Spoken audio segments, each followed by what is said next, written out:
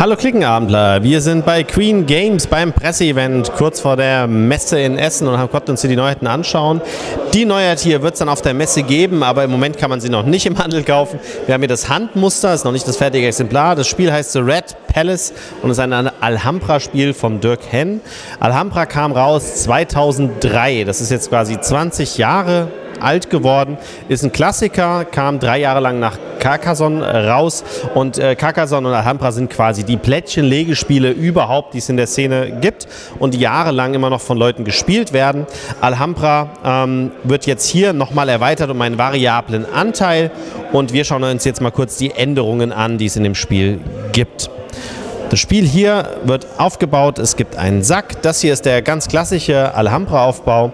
Das heißt, es gibt hier Plättchen, über die wir bieten. Was euch auffällt, ist normalerweise ist hier ein Gebäude fest aufgedruckt und wir kaufen das Plättchen. Hier werden jetzt die Gebäude zufällig gezogen und darauf werden zufällig ähm, äh, Gebäude draufgelegt. Die Holzelemente gibt es dazu auch und die werden dann passend ausgetauscht, wenn man es einbaut. Aber während dem Spiel kann sich das hier ändern. Deswegen liegen die aktuell so drauf. Wenn man dran ist, ähm, zu Beginn des Spiels kriegt man erstmal Karten. Karten, bis die Summe 20 erreicht ist. Der letzte kann sich zuerst dann seinen Kartenstack aussuchen, dann der zweite und der Startspieler als letztes. Und wenn man dran ist, kann man seine Karten ausgeben. Hätte also jetzt hier vielleicht das als Starthand.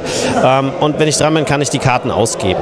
Das hier kostet mich die braunen Karten, das die blauen, das die grünen, das die gelben. Und ich kann natürlich jederzeit das hier kaufen für 11, 12 oder mehr. Also wenn ich 11 direkt habe, gibt es einen Sondereffekt, aber nehmen wir an, ich gebe mehr als 11 aus, dann kriege ich das und mein Zug ist beendet. Ähm, hier 2, da 6, da 13, aber halt gelb. Oder ich kann Karten nehmen. Entweder eine beliebige Karte oder so viele Karten, die maximal in Summe 5 ergeben. Das ist mein zweiter Zug. Und ansonsten kann ich auch abreißen. Alles, was ich gebaut habe, kann ich abreißen und in meine Reserve tun oder aber von der Reserve was einbauen oder aber Reserve und äh, ein, ein Teil meines Gebäudes tauschen, wenn es genau in dieselbe Position kommt. Das sind die drei Optionen, die ich habe. Wenn ich dran bin und äh, kaufe etwas für genau dieselbe Zahl, also ich habe 11 auf der Hand mit Blau, dann kriege ich das, baue es noch nicht ein und habe jetzt einen zweiten Zug. Hätte ich ja noch eine 2 auf der Hand und kaufe das, hätte ich noch einen dritten Zug. Das kann man also seinen Zug beliebig erweitern. Das ist soweit alles die klassische Alhambra-Regel. Hier der Wertungskartenstapel äh, ähm, ist in fünf gleiche aufgeteilt. Ein, die erste Wertung kommt in den zweiten Kartenstapel rein und ist reingemischt und die zweite Wertung ist im vierten Kartenstapel drin und die letzte dann, wenn die Plättchen leer sind. Alles klassisch Alhambra. Was Neues ist der obere Bereich jetzt hier. Das heißt, einmal haben wir hier einen Bereich, dass wir die nächsten drei Plättchen sehen, die kommen und die eingebaut werden. Und äh, wir können sie auch von hier kaufen, dazu komme ich gleich noch, aber das wäre das nächste, was eingebaut wird, dann das und so weiter und es wird immer wieder aufgefüllt. Dann haben wir eine variable Wertung. Die klassische Alhambra-Wertung wäre hier, nach der kann man auch spielen. Da ist der Turm am meisten Siegpunkte wert, die blauen am wenigsten.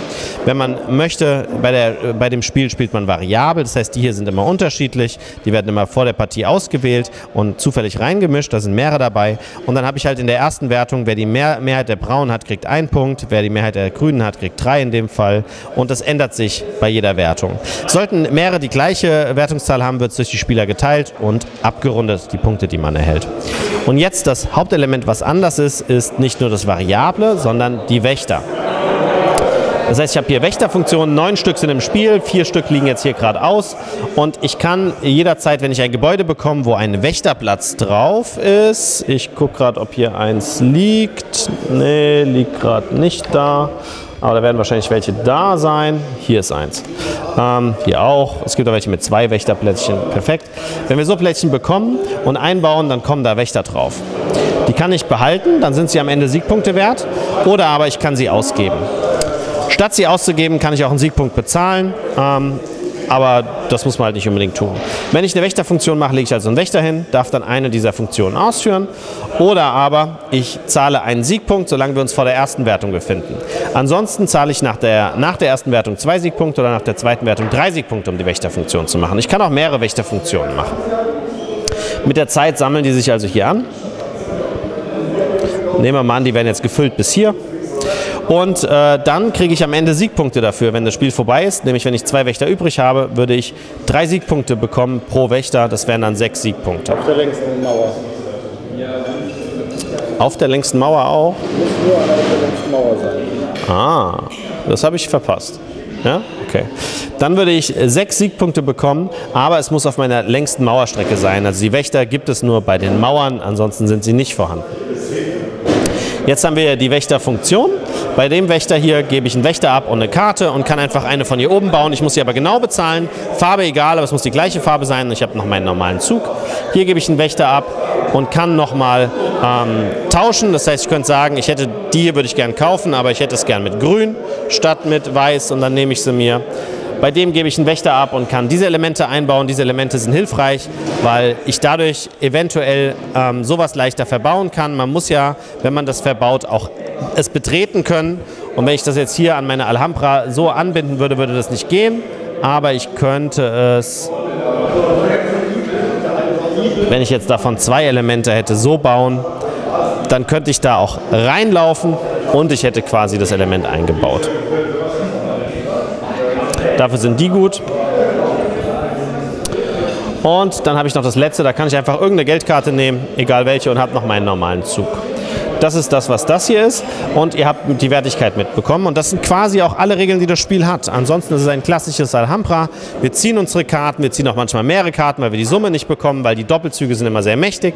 Und wir sehen schon, was vorausschauend ist. Das heißt, wir könnten natürlich Karten versuchen zu ziehen in Summe, die hiermit übermatchen. Und wir haben halt die zusätzliche Wächterfunktion. Der Matthias ist ja so gefühlt mein Zwillingsbruder, auch wenn er wo ganz anders wohnt, aber wir haben bei vielen Sachen sehr ähnliche Hobbys und Geschmäcker und haben immer mega viel Spaß, wenn wir uns zusammen äh, unter, unterwegs und über alles Mögliche unterhalten können. Matthias, bist du denn als Kind mit Alhambra in Berührung gekommen? Als Kind tatsächlich nicht. Also es ist ja 2003 erschienen, da wäre ich auch schon 23 gewesen. Ja, als insofern, Teenager. Insofern, ja, schon nicht mal mehr Teenager, schon erwachsener Junge. Aber ähm, kurz danach eigentlich, also so zwei, drei Jahre danach, glaube ich, habe ich es mir geholt. Es ist ja auch ein Spiel des Jahrestitel, ähnlich wie Carcassonne, was du eben erwähnt hast. Ne? Also Carcassonne 2001, Spiel des Jahres, das eben dann entsprechend zwei Jahre später. Ähm, und macht mir immer noch gerne Spaß. Ich habe tatsächlich auch von Queen Games gibt es eine richtig große, teure Aktion mit allen möglichen Erweiterungen. Da gab es noch sechs Erweiterungen, Big Box. Promoplättchen und so, genau. Die richtig große Box habe ich da. Ähm, bei Weitem da noch nicht alle Elemente draus gespielt, aber ich spiele Alhambra tatsächlich immer noch sehr, sehr gerne, weil es ein schönes, leicht zu erlernendes Familienspiel ist, mit diesen paar Geschichten eben, dass du versuchst, die Karten so zu sammeln, dass du passend bezahlen kannst. Dann schnappst dir einer genau vorher weg. Du weißt nicht ganz, wann die Wertungen kommen. Und hier hast du eben quasi den Twist, dass du ja Früher waren es ja so, dass die, die, Türme bringen die meisten Punkte, sie waren aber auch die teuersten Elemente. Und jetzt kannst du eben manche Elemente auch günstig kaufen, die sonst teurer waren und die sind aber vielleicht trotzdem auch dann nicht so viel wert oder trotzdem viel wert. Siehst du, ich finde das witzig. Ich habe ja Klickenabend, glaube ich, dann irgendwann mal mitgemacht, 2006 oder so. Davor habe ich ein bisschen gespielt, auch ein bisschen mehr, aber halt jetzt nicht so extrem wie in Zwischenzeit. Und äh, ich bin groß geworden mit Siedler und Katan tatsächlich bei uns in der Familie. Ähm, das heißt, ich habe mehr Carcassonne gespielt, aber meine Frau, die Berna, die ist mit Alhambra vor allem groß geworden.